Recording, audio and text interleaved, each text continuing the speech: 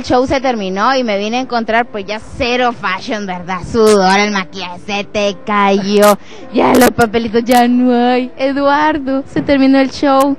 ¿Satisfecho? Súper satisfecho. Me siento privilegiado, como le estuve diciendo hace en eh, temprano a a Lucía, se me olvida el nombre, son tantos, pero me siento tan privilegiado, tan bendecido por Dios por esta oportunidad que me ha dado, no solo de poder lanzar el disco, de apoyar a esa Fundación de Niños con Cáncer y de poder presentar mi disco tan en un evento tan enorme como este, ¿verdad? No es cualquiera que tiene ese privilegio, pero la pasé súper bien, la gocé, ahorita voy para Cabala, espero verlos ahí, no sé, yo sé que no se puede dar publicidad, pero voy para allá, les estoy contando por si quieren llegar.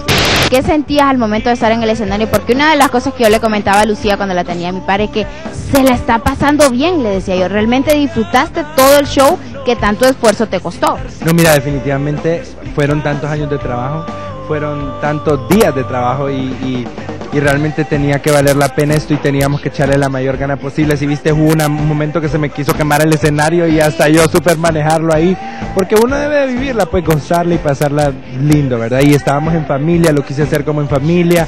Si viste, fui una persona muy carismática, me llevé con todo el público, le dediqué canciones a mi familia y la pasé súper rico, súper rico.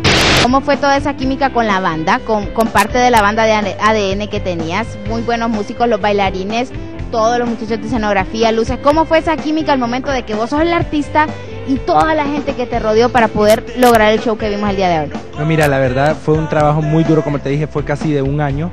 Estuvimos eh, trabajando con Nilo desde, desde el año pasado y pues tuvimos así nuestros momentos que yo a veces ni quería, pero estaba fuera del país estudiando y eché el máximo esfuerzo para poder lograrlo. Luego contactamos a todos los demás músicos, ahí inmediatamente con todos hice clic, siempre hago clic con la gente. Hasta con Ana siempre nos hemos llevado bien. Con la sopa me lo hay.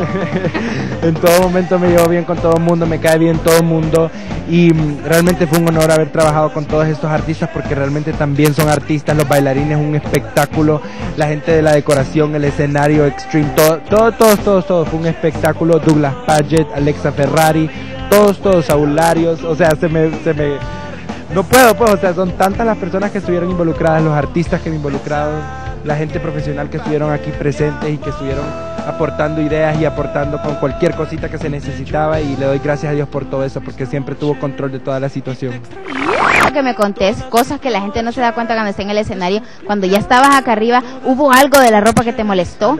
¿Hubo un momento que dijiste, me caí, me fui de dientes? Mira, hubo un momento que salté, porque uno hay veces ni siente, uno sigue el show y todo y ni, uno ni siente.